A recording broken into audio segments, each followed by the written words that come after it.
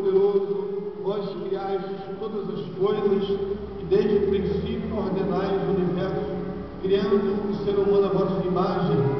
Fizeste que a mulher fosse para o homem uma companheira inseparável, de modo a já não serem dois, mas uma só carne, ensinando-os assim a nunca separar o que na unidade. Volvei o vosso olhar de bondade sobre esses vossos filhos, pelo vínculo do matrimônio, esperam ser fortalecidos pela vossa bênção. Enviai sobre eles a graça do Espírito Santo, para que, fortalecidos e impregnados da vossa caridade, permaneçam fiéis na aliança conjugal.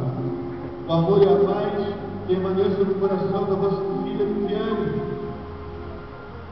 e ela busque o exemplo das santas mulheres, exaltadas com louvores das sagradas escrituras.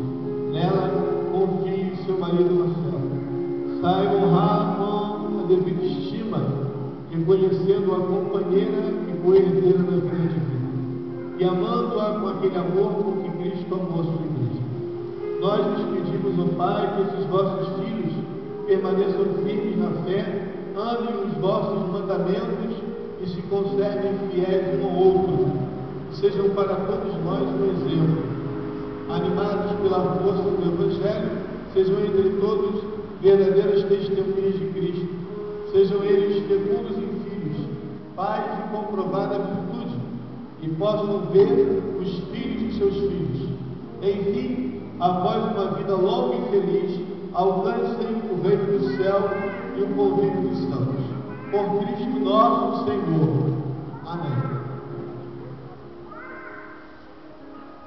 Senhor esteja convosco.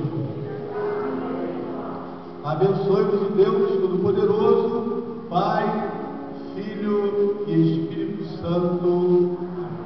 Um centavo minuto, eles vão assinar agora os papéis do casamento.